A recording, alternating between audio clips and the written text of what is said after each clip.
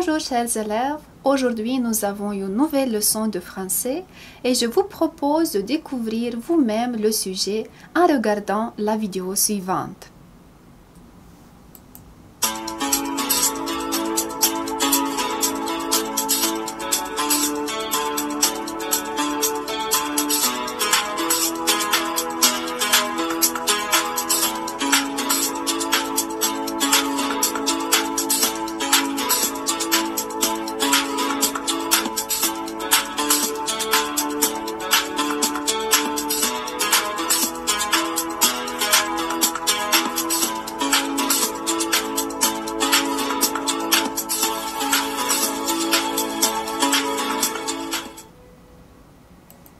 Alors, qu'est-ce que vous avez vu dans la vidéo?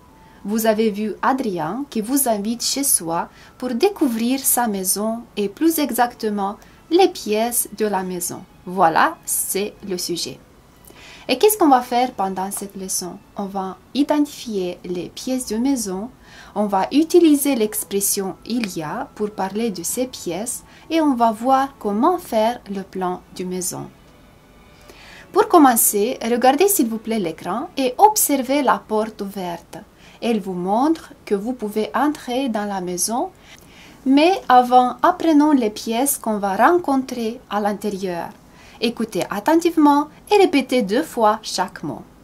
L'entrée, l'entrée, la cuisine, la cuisine, le salon, le salon, la salle à manger, la salle à manger, la chambre des enfants, la chambre des enfants, la chambre des parents, la chambre des parents, la salle de bain, la salle de bain. Et le WC, le WC. Très bien. Regardez maintenant l'image de la maison et trouvez la place correcte des pièces. Associez les chiffres aux pièces mentionnées dans la liste suivante. Par exemple, je dis l'entrée. C'est le numéro 1. Commençons alors. Où est l'entrée? Elle est ici. Voyons le salon. Numéro 2. Le salon est là. Numéro 3, c'est la cuisine. Elle est ici. Numéro 4, c'est la salle de bain. Trouvez. Voilà la salle de bain. Continuons par la chambre des enfants. Voilà la chambre des enfants. C'est numéro 5. Et la chambre des parents? Où est-elle? Elle est près de la chambre des enfants. C'est numéro 6. La salle à manger, c'est numéro 7 et elle correspond au salon ici dans cette image. Et la dernière pièce, c'est le WC. On peut le trouver près de la salle de bain. Voilà les pièces et une petite description de cette maison. Lisez-la. La maison se compose de sept pièces et d'un garage. Les enfants montent dans leur chambre par un escalier. Chers élèves, puisque c'est une grande maison, j'espère que vous êtes attentifs aux détails. Regardez encore une fois l'image et répondez aux questions suivantes. Combien de pièces a la maison? Voyons la variante correcte. Elle a sept pièces. On continue. La question suivante. Où est la cuisine? Voyons. Elle est près de l'entrée. Et la dernière question. Quelle pièce est à gauche de la chambre des parents? Voyons. C'est la salle de bain. Bravo, vous avez très bien travaillé. Je vous propose de jouer un peu. Il s'agit de quelques mots croisés. Regardez les images, observez les lettres qui vous aident et trouvez les sept mots cachés.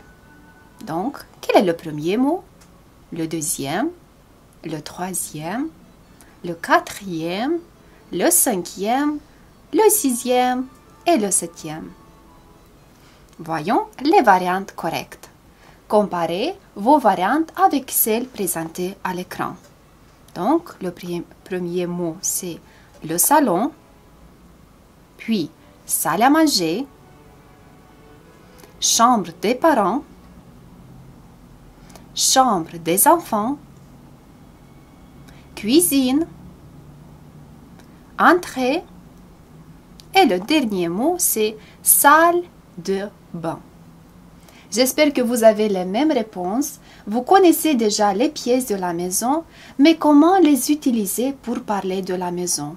On peut le faire à l'aide de l'expression il y a. C'est la surprise promise par Adrien dans la vidéo. Notez dans les cahiers et observez les exemples suivants.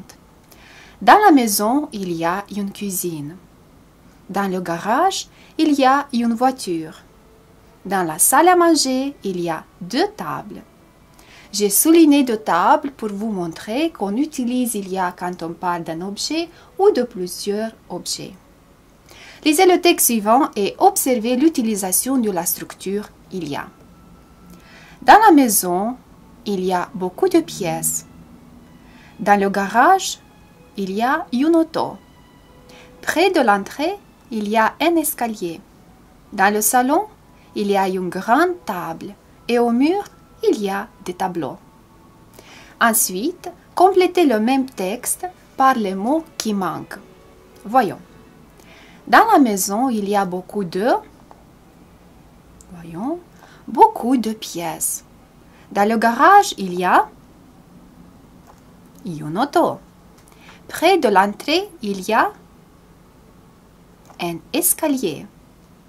Dans le salon, il y a une grande table et au mur, il y a des tableaux.